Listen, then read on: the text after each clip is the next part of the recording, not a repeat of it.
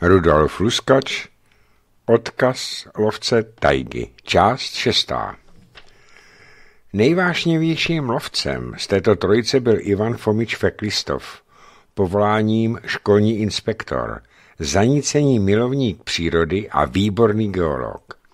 Na svých pochuskách zkoumal nerosty, oklepával skály jakýmsi geologickým kladívkem. Prováděl také primitivním způsobem sondy půdy a kreslil si plánky určitých míst. Jednou přišel, zvlášť rozradostněn, ze své pochůzky. Našel ve výsklém korytě potůčku zlatonosný písek. Druhého dne se vydali všichni obyvatelé samoty k nalezišti a počali jednoduchým způsobem rýžovat drahocený kov. Výtěžek byl však nepatrný a za několik dní bylo rýžoviště vyčerpáno. Jak tvrdil Orlov, bylo v okolí podobných ložisek více. Již před lety tu zkoušel štěstí nejeden zlatokop, ale nálezy byly tak malé, že od dalších pokusů upustili. Přesto Fetklistov zanechal nyní lovu a věnoval se výhradně hledání zlata. Uprchlíci odložili odjezd, neboť pro cestu a život v daleké cizině by bylo zlato vítanou pomocí. Den ze dne se procházela trojice přátel tajgou. Slézali skály a sopky, proplétali se houštinami. Několikrát uvázli v močálech, odkud se zachránili jen s velikou námahou. Brzy nahlédli, že pátrání po nalezištích zlata není ani při geologických znalostech vůbec snadné. Namáhavé pátrání vyčerpávalo rekonvalescenty a jeden po druhém se vzdávali dalších výprav. Nakonec byl jenom Feklistov schopen pokračovat v průzkumech. Neúnavný, vždy dobré mysli, loučil se každé ráno s kamarády a dával se na cestu.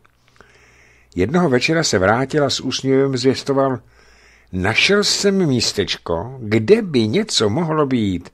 Ještě to tam ale důkladně prohlédnu. Ostatní mu přisvědčovali. Sami však již ztráceli naději a trpělivost. Místo,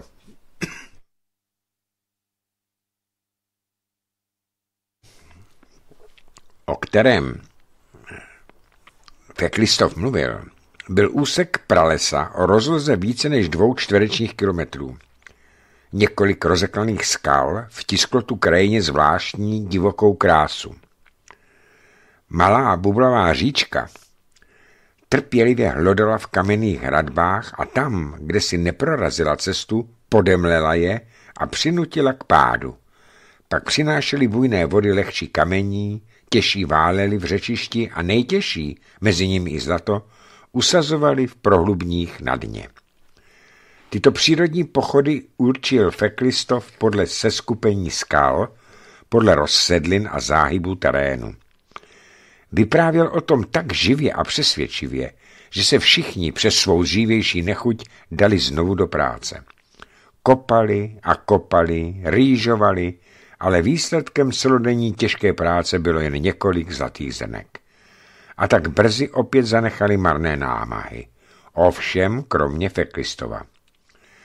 V neděli se dostavil Felčar Bobrov s radostnou zprávou že za týden budou ve Vladivostoku pro uprchlíky připraveny cestovní pasy a lístky do Kanady.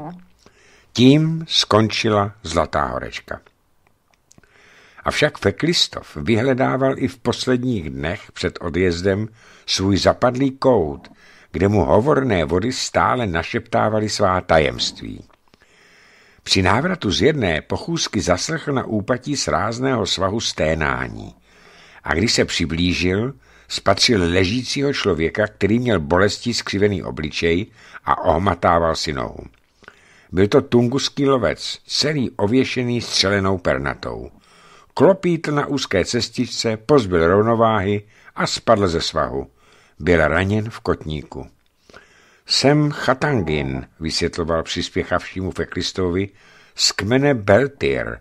Náš čum leží cestou na Alty Šmar, Devět verst to bude, ach, ta noha, ta noha. Feklistov byl rozhodnut lovci bez váhání pomoci. Převzal jeho těžkou kořist a pořídil mu nouzový obvaz. Cestou mu pomáhal v chůzi a celý spocený dorazil s ním konečně do tábořiště Tunguzů. Zde byl srdečně přivítán a uctěn podle zvyklostí kmene. Pozvali ho do stanu šamana Šeleuta, který se Chatangina i hned ujal. Šaman byl zároveň ranhojičem a léčil všechny neduhy svých soukmenovců. Po ošetření postiženého využil příchodu nečekaného hosta, aby mu předvedl zaklídání zlého ducha, jenž podle jeho názoru byl příčinou Chatanginova úrazu. Šaman otevřel dvě malé dřevěné klícky, v kterých věznil po půl tuctu žab a velkých ještěrek, o nich tvrdil, že jsou to služebníci nízkých šejtanů tajgy. Za doprovodu bubnu jednu po druhé otáčel na záda a ukládal na líkový kobereček. Žáby zůstaly nehybné. Ještěrky se skroutily do podivné nepřirozené polohy a v ní ustrnuly. Šaleut stále něco mumlal, rozdělal na malém kamenném podstavci oheň a házel do něho pryskyřici a jakési aromatické trávy. Pak se nahnul k nehybně ležícím živočichům, pronášeje tiše nesrozumitelná slova. Chvíli naslouchal a rozjímal, potom ukázal na stranulé tvory a vysvětloval. Tyto děti nejnižších šejtanů tangy, tajgy, usnuli na můj příkaz. Ve spánku mě prozradili, že šejtani líčí pasti na ruské muže. Chodíš a hledáš kolem vody. Hledáš žlutá semena. Zasetá šejtanem pro chamtivé lidi. Příroda a její pán, člověk, jsou ve věčném protikladu. Obrazem přírody je tygřice. Pod hřejivými prsy chová smrtící drápy. To platí zvlášť pro naši tajgu. Proto rozvaž každý svůj krok. Pak se dotkl strunulých ještěrek a žab, které se okamžitě vzpamatovali, vyskočili a rozlezli se po stanu. Tím skončilo čarování a hostu byl podán čaj, připravený podle tunguského způsobu. V malém kotlíku se vařila voda, do níž byla vhozena kostka lisovaného čínského čaje a velký kus másla. Nápoj se podával v dřevěných koflících zvaných pial. Šoleut se zahajil v mlčení a Feklisto přemýšlel o předvedeném kouzlu. Trik s uspáváním žab a ještěrek neučinil na něho žádný dojem. Věděl, že tu jde v podstatě o hypnotické znehybnění rychlým otočením zvířetem a tlakem na jeho určitá nervová centra. Tím vzniká tzv. kataleptický stav.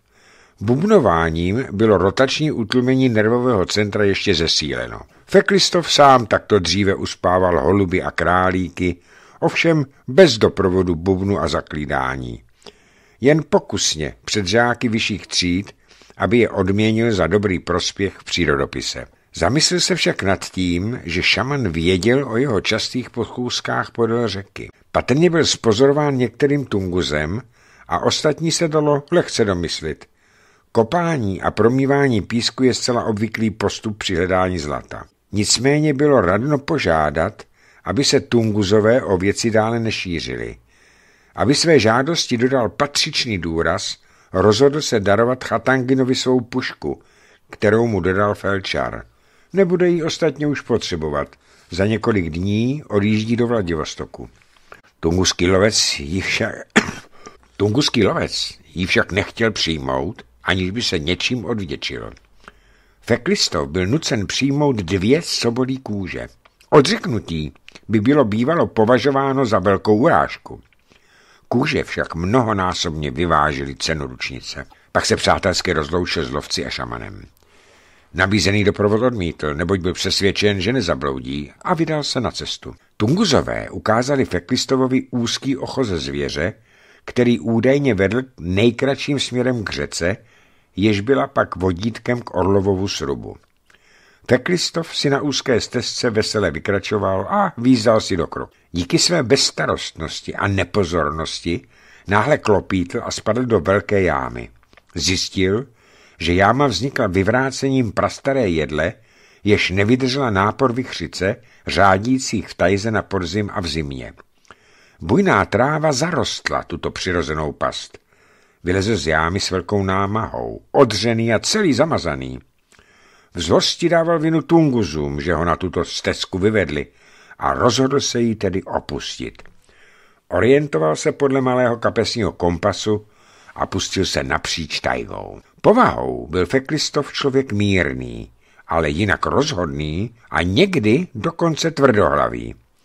Tato vlastnost se projevila, když stanul před neproniknutelným houštím, které bylo nutné obejít. Něco mu našeptávalo, aby se vrátil na ochos, ale jeho umíněnost ho vedla dál. Chůze byla stále obtížnější.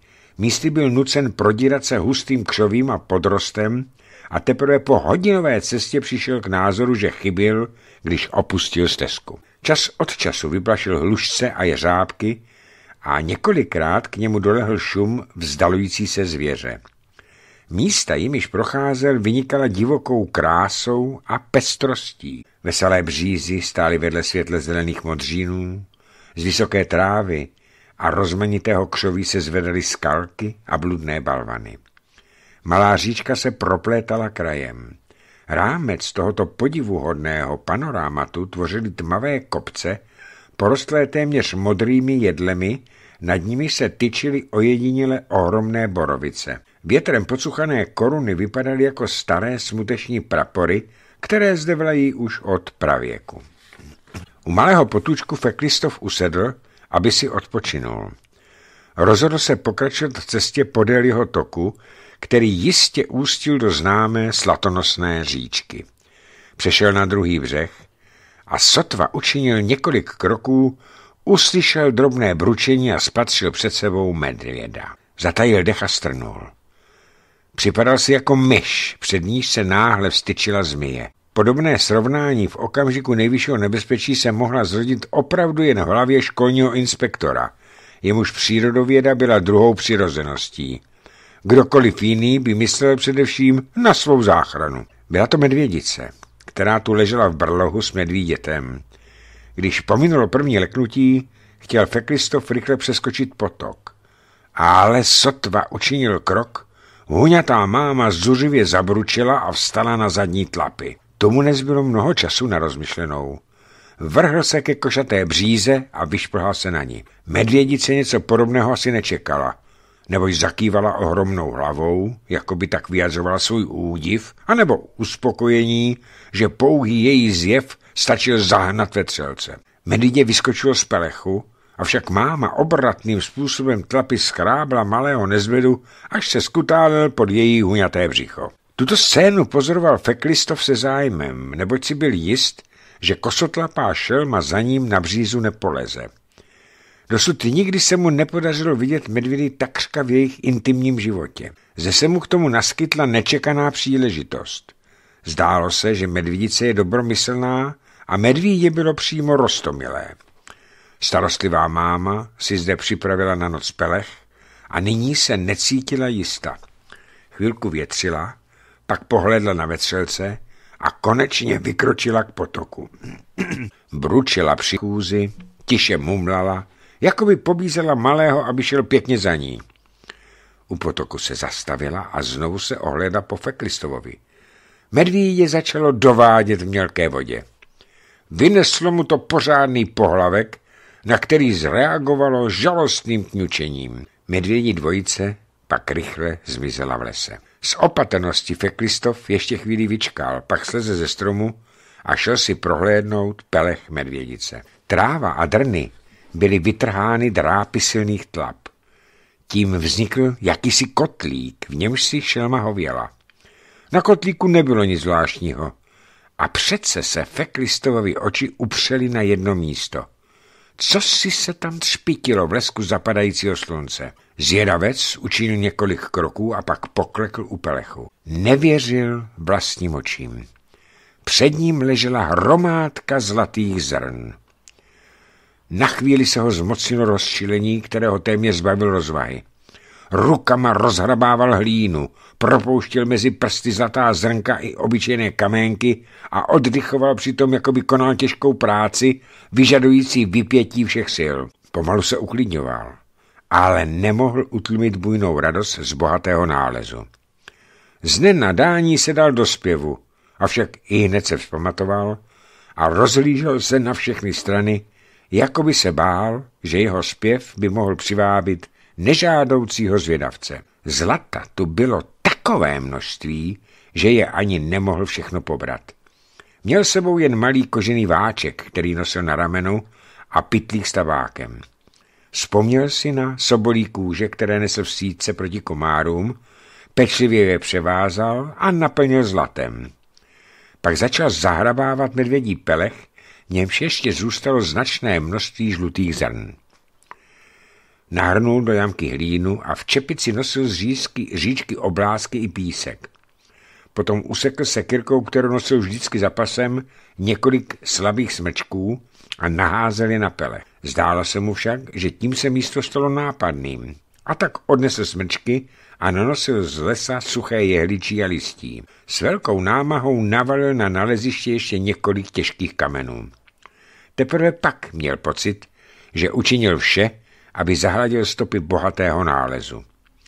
Okolí si označil nenápadnými záseky na stromech. Teprve pak se vydal na cestu domů, o níž netušil, že se mu stane osudnou. V Tajze bývají podivuhodná setkání a člověk si není nikdy jist, zda ho nečeká překvapení. Hlavně od lidí. Od, od dobrodruhů, různého ražení až k kteří za carského Ruska hledali v Tajze lehkou obživu. Zákony tajgy tyto živly nemilosrdně potírali. Byly tvrdé jako sám život v pralesi. Překročení psaných i nepsaných zákonů se vyřizovalo často kulkou, ale ani to neodrazovalo otrlou cházku od loupeží a vrah. Nyní, když Feklistov nesl nalezené zlato neznámými místy, litoval, že je bez pušky. Sotva zlato dobil, zmocnil se ho neklita obava, aby je opět nestratil. Je to těkavý kov. Vzpomněl si na šamana, jenž nazval zlato semenem šejtanovým. Starý, prohnaný Šoleut byl v jistém smyslu dobrý psycholog a věděl mnoho nejen o životě v Tajze, ale o životě vůbec. A to hlavně mu dávalo možnost, aby působil na své soukmenovce. Zaujat podobnými myšlenkami, Feklistov ani nespozoroval, že už nejde sám. Jako přízrak se za ním plížil tvor v těchto místech opravdu vzácný. Pardál, vzrostlý, žlutohnědý exemplář s tvavými skvrnami, které tvořily kruhy na lesklé srst. Pardál žije většinou v horách a do tajgy se pouští jen v zimě, aby tu lovil muflony, kabary a jeleny, hledající v době lítých mrazů v nížinách obživu. Tento však lovil v tajze i nyní na sklonku léta. Šlo o šelmu, která zde vyvedla svá mláďata dříve než obvykle a samice s nimi neodešla dříve, dokud nevyspěla tak, aby mohla loupit na vlastní pěst. Samec právě strhl pižmového kabara a nesl ho do brlohu samici a dvěma mláďatům. A tu navětřil Feklistova. Pardál zřídka napadá člověka. Většinou se mu vyhne na stohonu.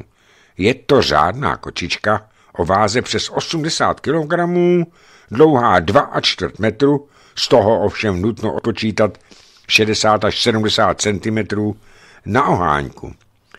Není tak dravá, aby se vrhla na člověka, jeho zjev ji patrně odrazuje od přímého útoku. Co jí však chybí na drzosti, nárazuje chytrostí a zákeřností. V době, kdy se dorostlá zvířata starají o své potomky, jsou velmi zlá a zuřivě je brání proti každému vetřelci, včetně člověka. Nic netuše, Přiblížil se zadumaný zlatokop k pelechu, kde ho navětřila samice. Tiše zakňourala a v příštím okamžiku věla mláďata do komory brlohu, když to máma se přiblížila k místu, odkud zazněly kroky člověka. Padálí dvojice napadá nepřítele zvláštním způsobem. Samice se snaží dostat se soupeři dozad, zatímco samec ho vede tak, aby ho sám měl za sebou. Na okamžik se ukáže nebo lomozí v lese, aby na sebe upoutal pozornost. Člověk se takto odskne takřka v kleštích.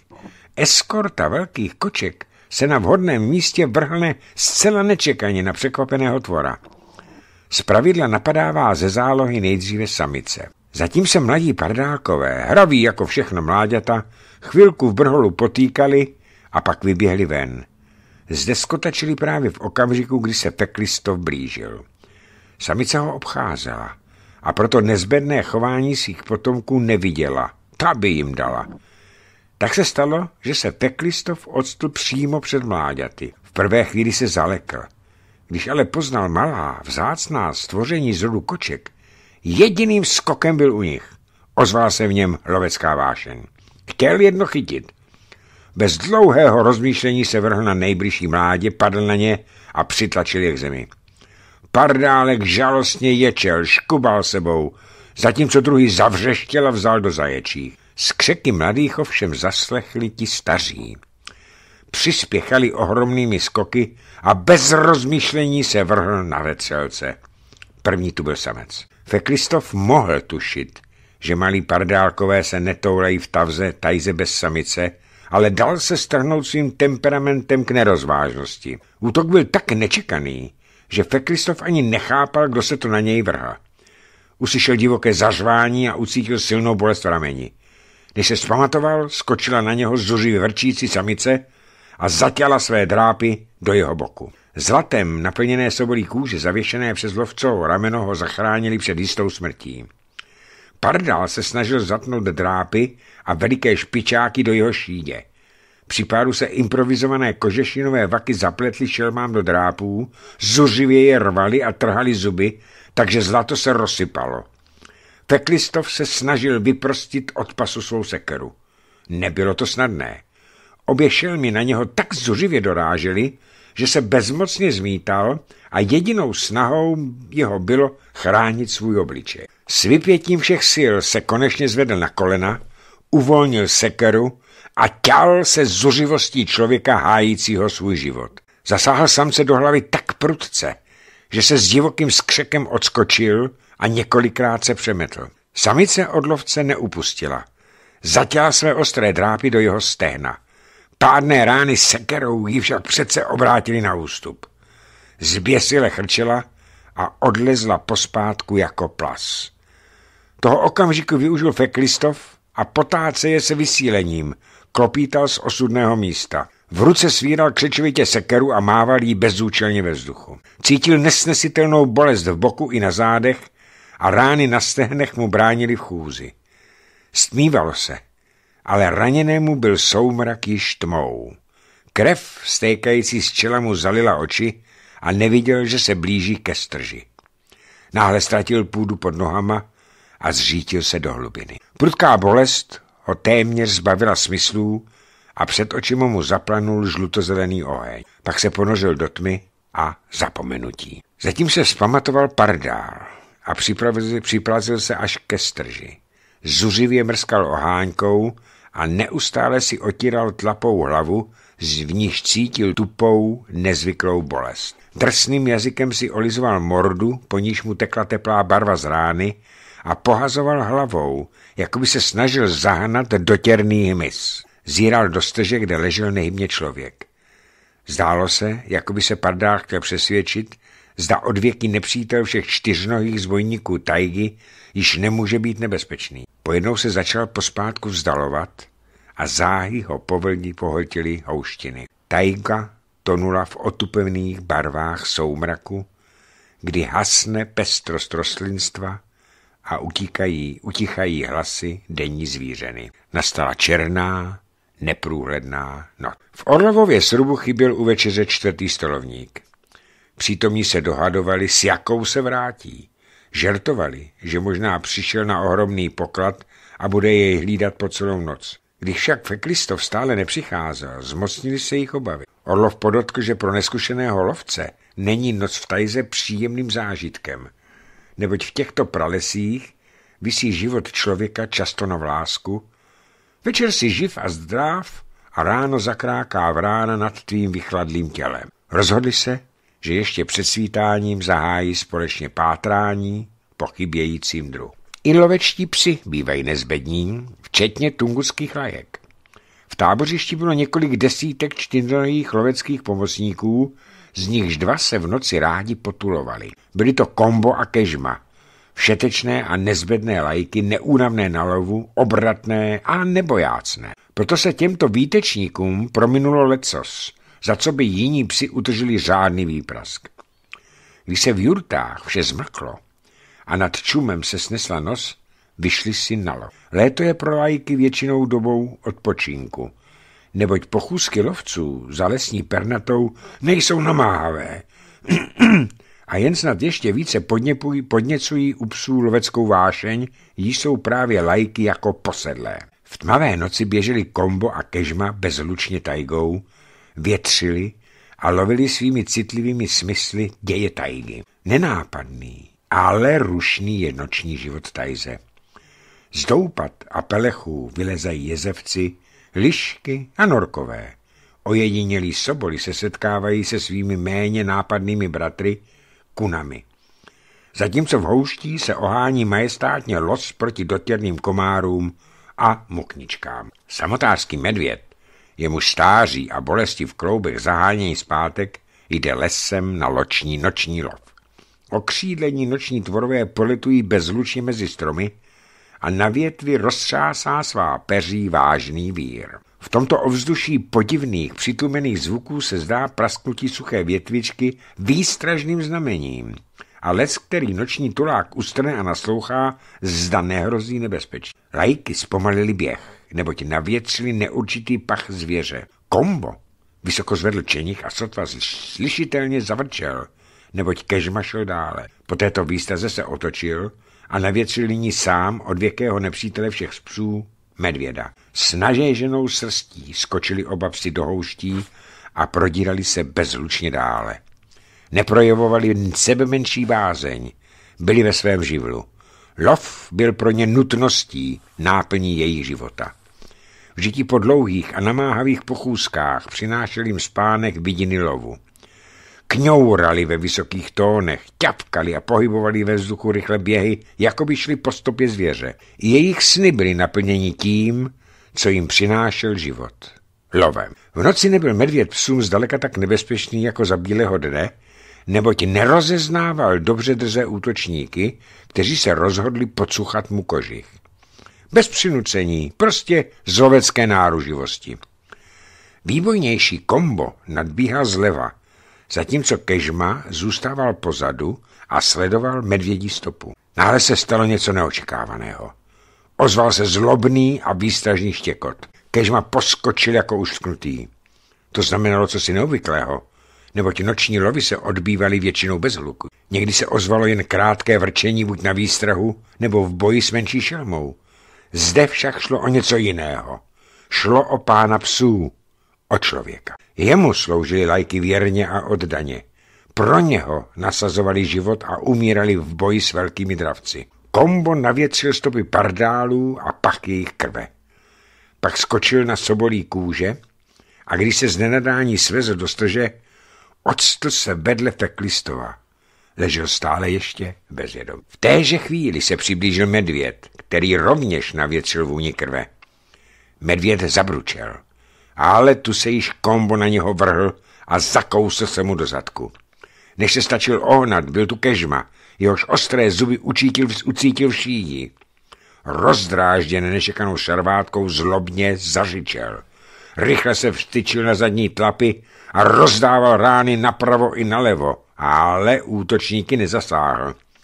Mrštné lajky uskakovaly, jejich běhy se podobaly ocelovým pružinám, vymršťujícím se sotva se dotkly země. Znechucen bezvýslednou potičkou dal se Míša na úsup. Odcházel pomalu, téměř vážně, jako by podobná rovačka byla pod jeho důstojnost. Psi to však chápali jinak. Ústup medvěda jim přidal odvahy i drzosti a kombo se zakousl do jeho kelky s takovou dravostí, že postižení leknutím zařičel. Kombovi čelisti svírali krátký ocas huňáče jako železa. Kežma také neotálel. Jedním skokem byl na širokém hřbetě a zatěl do něho své ostré zuby. Medvěd se otočil, klopítl přes velký kámen a převalil se, takže útočníka div nezalehl. Kombo se v posledním okamžiku pustil ocasu, zatímco kežma se přemetl a odskočil. Oba psi, unavení bojem, zanechali dalších útoků a provázeli nyní Míšu v ústup sípavým mláním. Ozvěna, dohasinající noční sarvátky, se ztrácela v hlubokých vozdech a zapadala do houštin a mechů.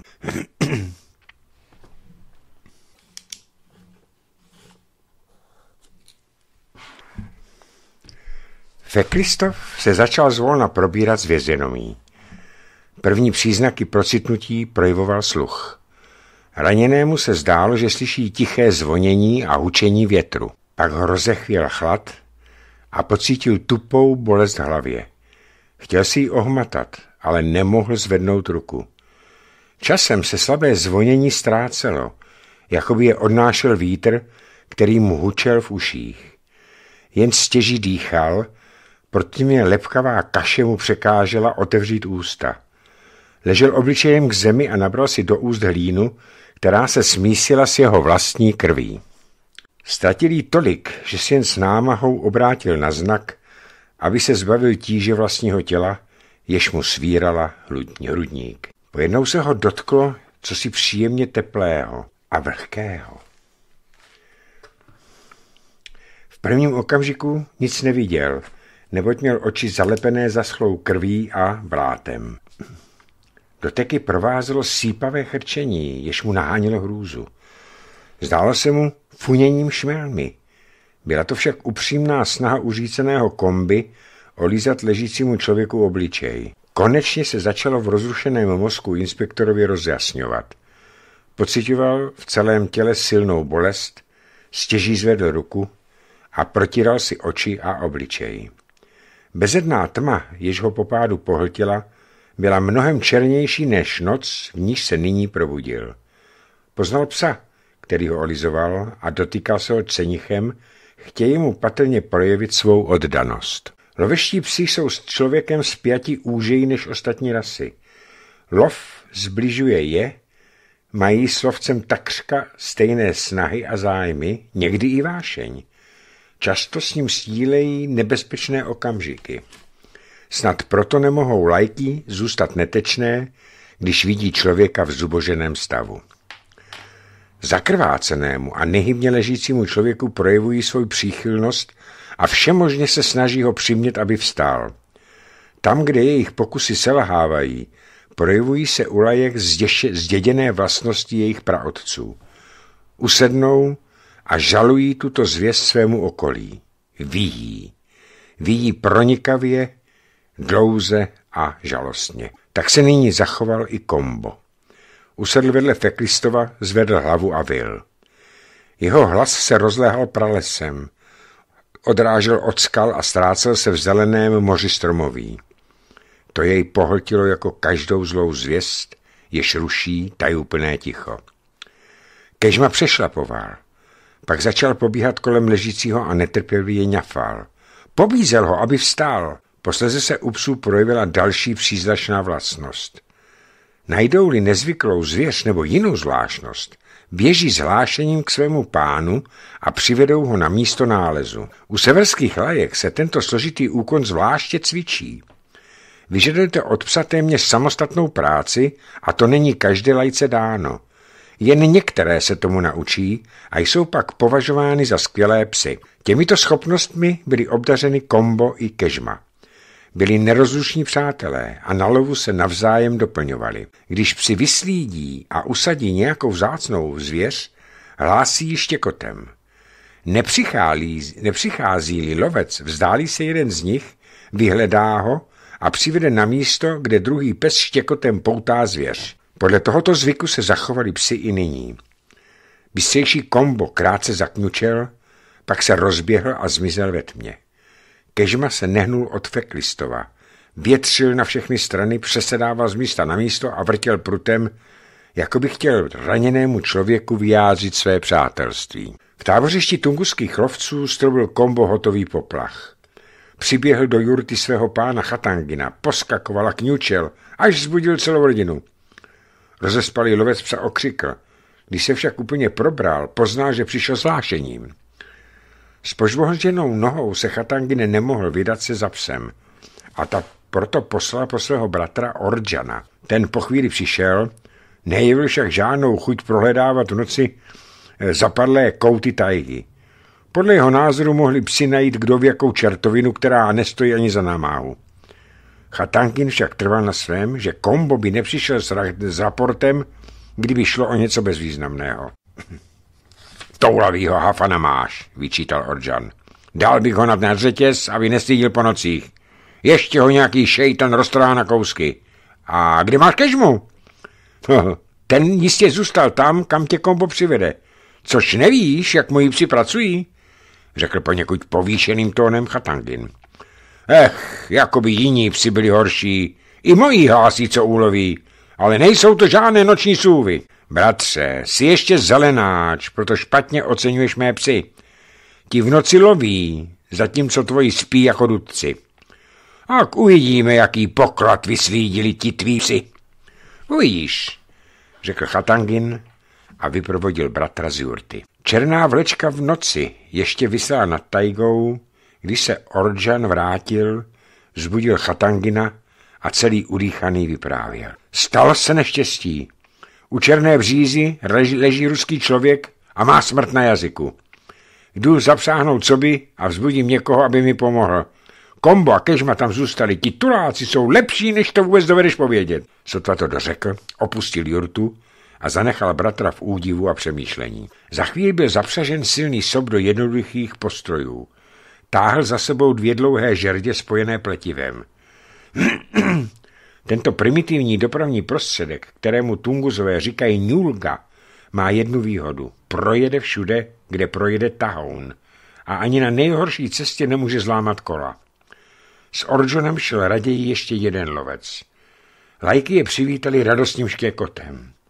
Raněného uložili na ňulgu a pod pažemi přivázali širokými měkkými řemeny zhotovenými ze žil mořské ryby běluhy. Jeli pomalu, vyhýbali se s rázným místům. Po příjezdu do čumu se raněného ujal šaman, který, jak známo, léčí u Tungozů všechny bolesti a neduhy.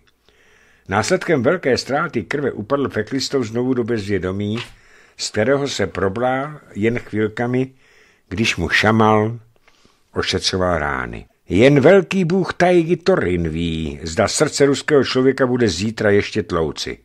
Pronesl vážně šaman Šoleut. Orjan přikyvoval, zřejmě přesvědčen, že jen Torin může Feklistova uzdravit. Snad by pomohli oběti k usmíření vládce Tajgy.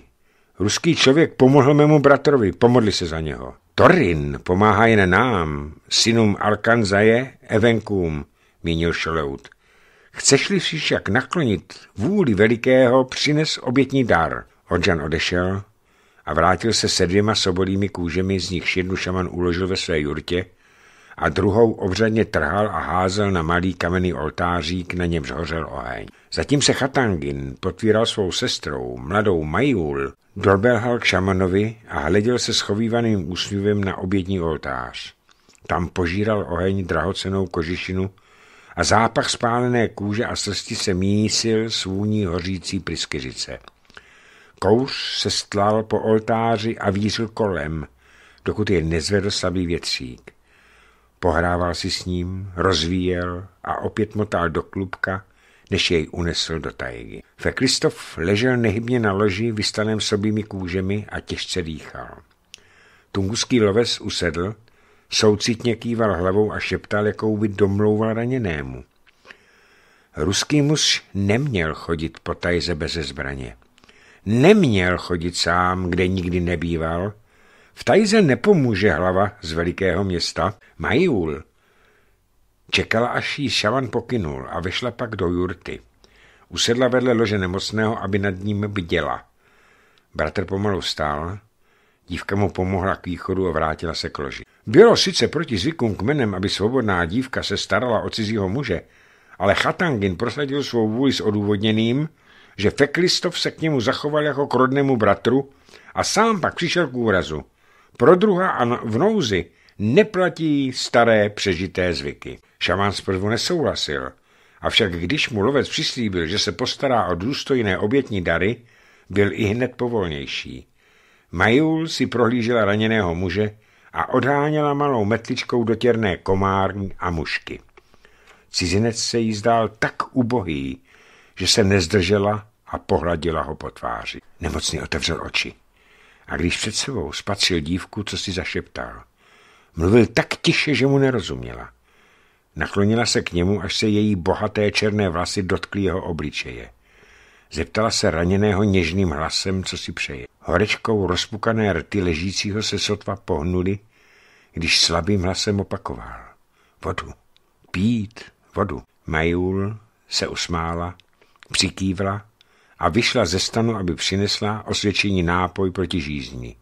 Studený čaj s klikvovou čťávou.